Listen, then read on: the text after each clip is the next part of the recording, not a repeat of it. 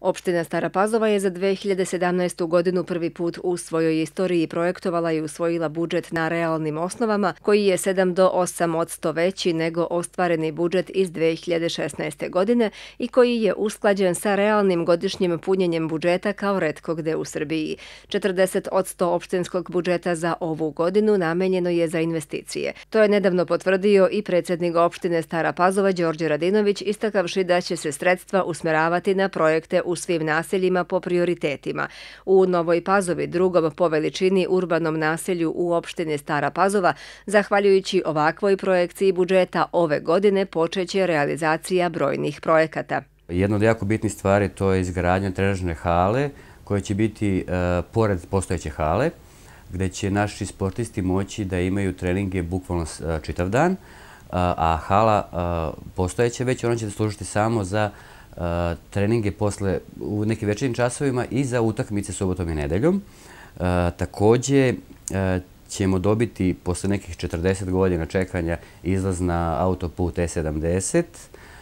To je to radi Srbija put, oni to i finansiraju, naravno uz pomoć opštine koja je uspela da pribavi svu potrebnu dokumentaciju za to. U planu je premeštanje zelene i bele pijace iz centra na prostor između ulica Đure Đakovića i Miloša Obilića.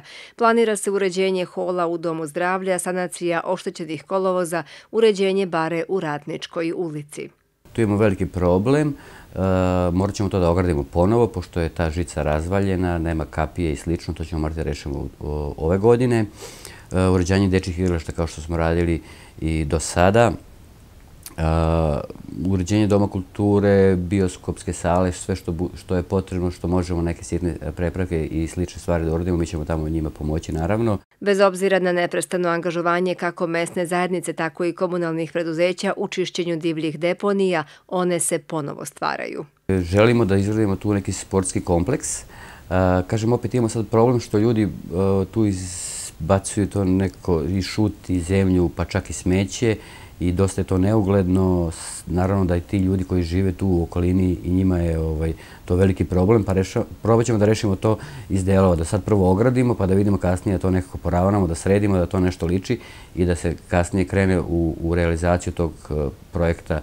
Izgradnja sportskog kompleksa je dugoročan plan, rekao je Barišić, a mesna zajednica će i u budućem periodu podržavati kulturne i sportske manifestacije u Novoj Pazovi.